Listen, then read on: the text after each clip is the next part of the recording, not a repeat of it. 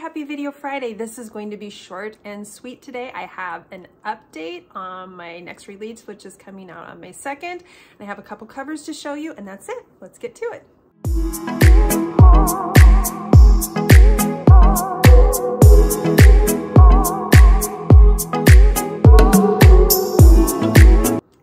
Covers to show you. One has a new cover. Lake and Cage are just perfection on this. We even have the cat. It's beautiful. You can get this signed off of my website. You can also get it on Amazon if you're going to be at Book Bonanza, which I hope you are, I hope I get to see a lot of you at Book Bonanza, you can get a special edition set of my Transcend series with these special edition covers only at Book Bonanza this year. I will have these on my website and possible other signings next year, but this year only at Book Bonanza. And you can only get them as a set and you have to pre-order them. I will not have them for sale at my table at Book Bonanza, so get your pre-order in before the end of April. We have Transcend, and Epoch, it's buzzy, and fortuity. So make sure you grab your book orders for that. Let's jump into my May 2nd release. It's called I Thought of You, and I cannot wait for you guys to read this. It is a very angsty, heartbreaking story. You know, when you have those times where you're like, I just need a good cry, but I also want to feel good at the end, but I just need a little bit of heartbreak. And I think sometimes that we have emotions, even when we feel down and we think I need happiness, and we usually do, we need some laughter. Sometimes what we need first is this good cry. Well, I'm going to give you this good cry, and I'm going to give you some definite humor in this, and it is a romance, so I'm going to give you a happily ever after, Julianne style, so I'll let you interpret what that is. Eventually, someday, I might formula write, so you'll know what to expect from me. It'll probably be brilliant for me. I'll be able to market myself better, but right now, I'm still using writing as my own form of therapy. That's why my books are all over the place, but I'm giving you this heartbreaking book only to give you for the rest of 2024 crowd pleasers like the Fisherman series is a crowd pleaser. Look the Part is a crowd pleaser. I'm going to give you crowd pleasers the rest of the year, but right now I'm going to give you a story that's like for Lucy, that was like before us.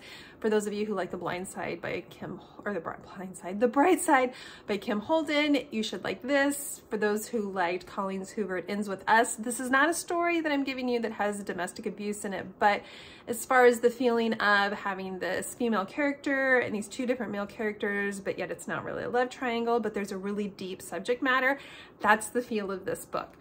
So we have Price Malloy. He is one of the main characters and he's done very well for himself. He's in his 30s and he gets this grim prognosis and it changes him on every level. So he leaves a note, packs up and looks for his first love, Scotty Rucker. Scotty Rucker is this free spirit. She lives in the moment. She doesn't have big dreams. She doesn't plan for the future. She doesn't care about tangible things so much.